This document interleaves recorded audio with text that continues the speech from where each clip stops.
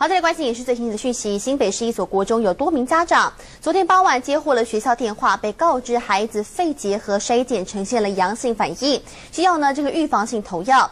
心急下冲往了卫生所，质疑为何筛检四个月后才有结果呢？目前的最新状况也马上连线给记者黄淑文来告诉大家。淑文，请说。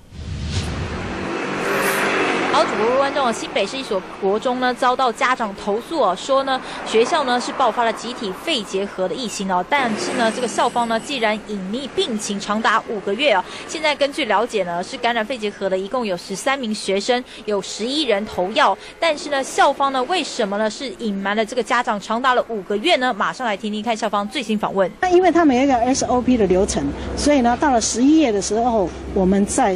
呃，医生再来筛了筛了一次，哦，再来检查过一次。那有七个啊，六个用药，哦，六个已经都在用药中。那因为马上知道了，一定要通知家长，家长的担心，哦，我们可以理解啦。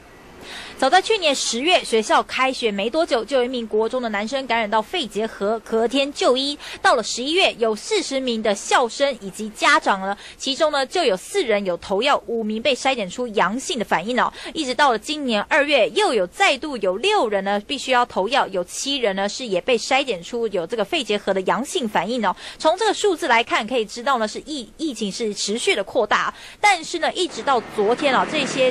呃，八名的感染的学生呢，家长才被通知啊，说学生呢有被感染到肺结核的情况，家长非常的不满意啊。而学校方呢是这个推卸给卫生局啊，说一切是符合这个卫生局的 SOP 流程啊，并且有在这个联络部写上请家长就医啊。但是家长说，你只有通知我要就医，但是并没有通知我这是肺结核的病情啊，因此现在相当的不满。